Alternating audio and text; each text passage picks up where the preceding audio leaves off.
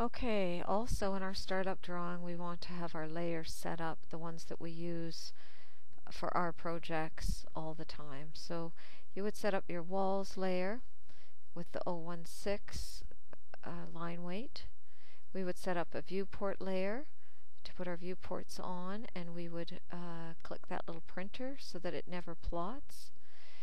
Set up a text layer, fixtures and furniture at 014, electrical and lighting, and in the electrical and lighting layer of course your switches would go on that, your receptacles, anything hardwired, and also the arc that runs from the switch to the lighting if we have this at continuous, then we have to do an override in our drawing to switch that to dashed.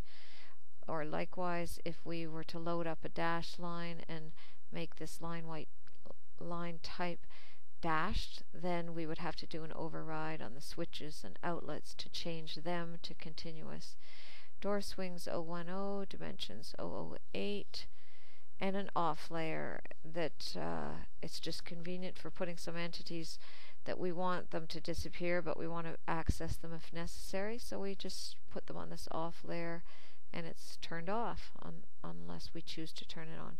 So once those are set up, uh, then our startup drawing has all of those settings ready for us.